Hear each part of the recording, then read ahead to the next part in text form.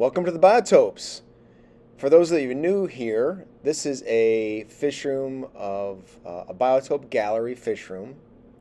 And what we're looking at right now is my San Carlos River Basin biotope. Now this is in on the Atlantic coast of Costa Rica.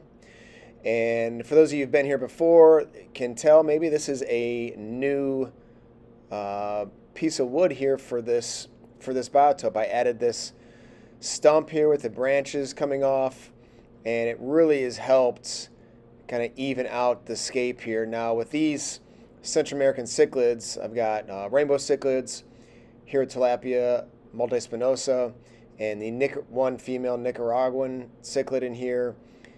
Anybody that's kept these fish knows they love to move the sand and gravel around, so that's been tough, and keeping plants in here has also been tough. But you can see this new piece of wood, even though I soaked it for over a day, I've got some air bubbles leaching out.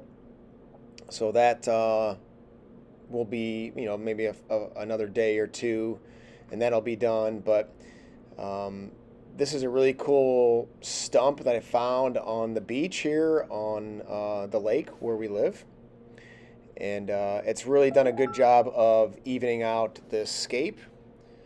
So super, super excited about that. Wanted to share that with you. First off, uh, before the end of the video, I'll give you some more photos of this. But the main part of today's video is uh, we are going out to collect for a resurrection jar. Uh, Father Fish has made resur- resurrection jars popular, and I'm really excited and interested in checking these out and get one set up for myself. So I'm going to head outside here and uh, start up and see how it goes. So come along with me.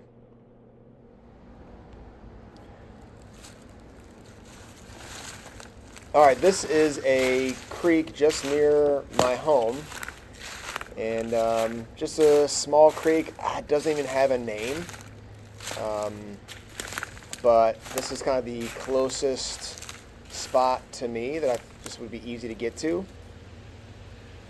Uh, this, I'm sure, feeds out of the Vermilion River, which is really just to the east of, of my house. Um, and this river kind of runs west to east. So in the summer and spring, you'll see little, um, you know, minnows in here, and I'm sure there were, would probably be crayfish and uh, darters and things like that. But right now it's October, so it's pretty cold, and a lot of the fish are slowing down, and I'm sure in the deeper areas of this stream. So we're just to get out here and look for a spot to grab some uh, leaves and sticks and some mud for my resurrection jar. So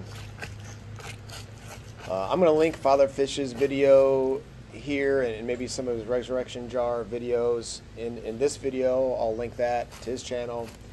But basically what you do is you grab a jar and then you put any kind of organic material from the water in there. So in this case, I'm looking for leaves, sticks, wood.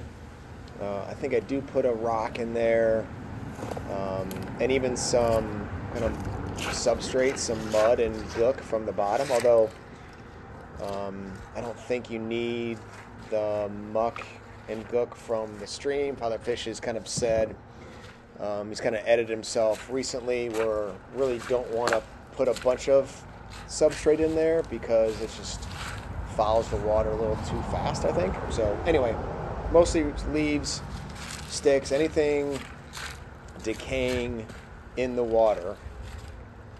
And you put that in a jar, uh, filled up with water from the stream, and um, you can kind of keep it uncovered or put a little cloth over top.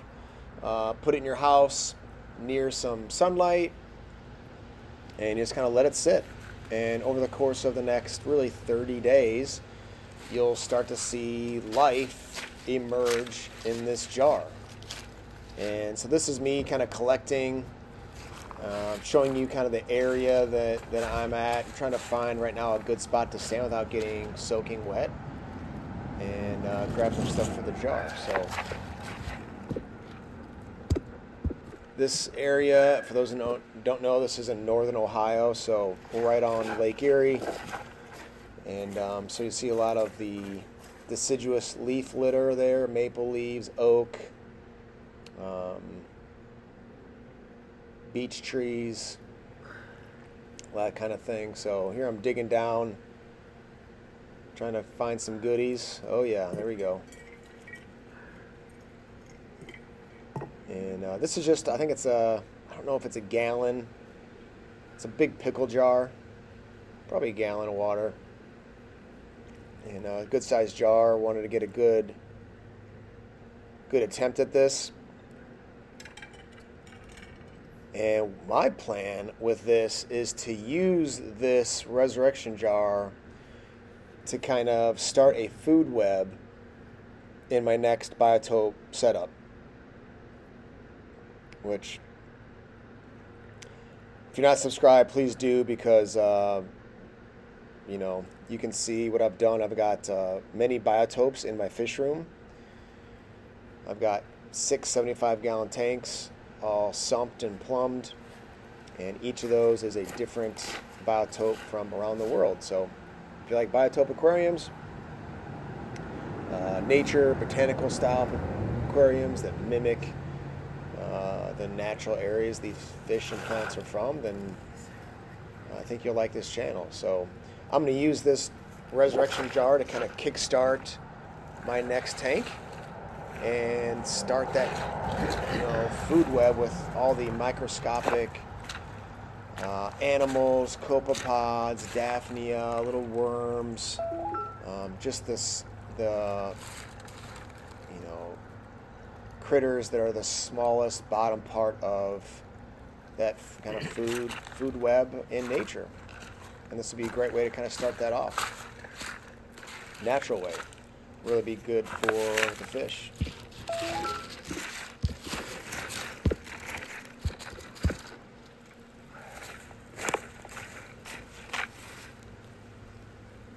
Here I'm going for one more handful of mud, which I probably didn't need, honestly.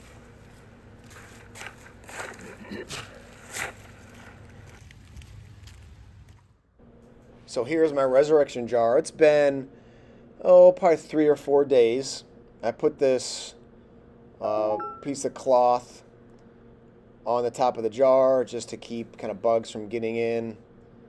Um, but uh, you can see it's pretty brown and tannin. There's sticks in there, and we're going to put a light on it and show you what we've got so far grown in there.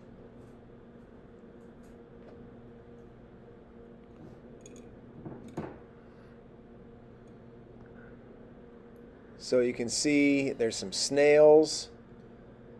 Um, you can you'll see some real small kind of paramecium, kind of like cloud in the water. You also see some larger copepods in here, kind of scatting around. There's even some worms. You can have a worm there.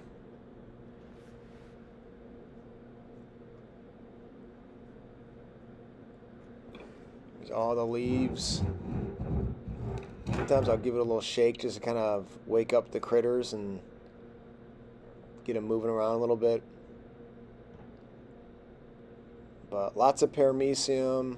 You can see that cloud there in the water. You know, freshwater snails, which is pretty cool to see. Even some pretty good size one. You'll see the worms there. I'm not sure what those are worms of, if they're kind of like a black worm or red worm, but just showing you here some different angles. Sometimes the worms will hang around just at the top of the water level, at the surface of the water.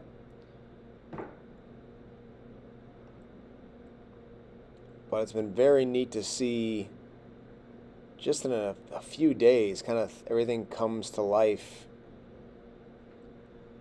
there's a copepod there scooting around.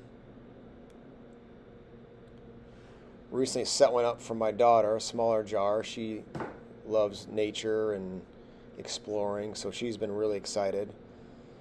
Actually, took a piece of grass that was growing, emerged from the the stream, and, and kind of popped that in the top of her jar. I want to see if see if that uh, grass with its roots submerged uh, grows at all. Helps. So that'll be interesting, but see all the sticks, all the leaves, and just let it sit. I think if that water kind of evaporates, I might add some just dechlorinated water uh, just to keep the water level up a little bit, but we'll see how it goes. But it's really interesting, you know, what's in that water that you just never see or know about. And I think over time we'll start to see some larger and larger organisms kind of come alive.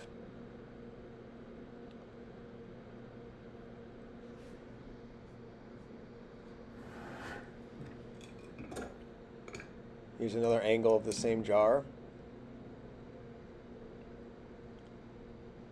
See some snails there, different size snails, another copepod. It's just tons of stuff, man. It's crazy.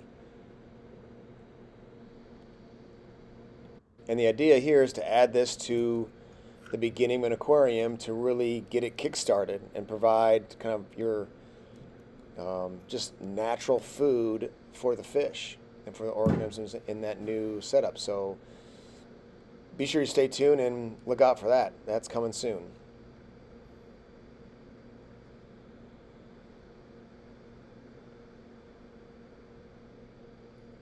All right, now we're back in the fish room here. This is back to the San Carlos River Basin tank.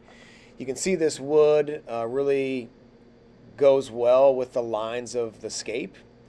Um, but there's my rainbow cichlids, that larger fish kind of the center, that's the Nicaraguan. It's a female Nicaraguan cichlid. Um, I know the tank looks kind of yellowy here. Um, it is kind of a tannin-rich tank, very much like the a lot of the rivers in this area, very muddy. Um, and it's kind of cool. I chose the rainbow cichlid and the Nicaraguan because they have very similar patterns. And this is very common for species of fish that live together in nature. They're going to look a little bit alike, um, both as kind of defense and coping mechanism in nature.